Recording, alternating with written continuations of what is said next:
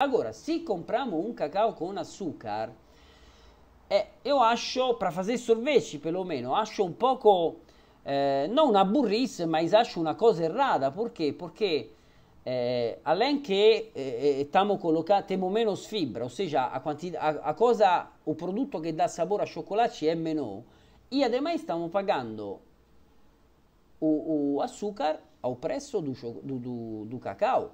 É, o açúcar custa, um quilo de açúcar custa 2,50, não custa, sei lá, 30 reais, 40 reais o quilo, 20 reais, o que seja. Então evite de comprar cacau em pó açucarado, comprem cacau em pó puro.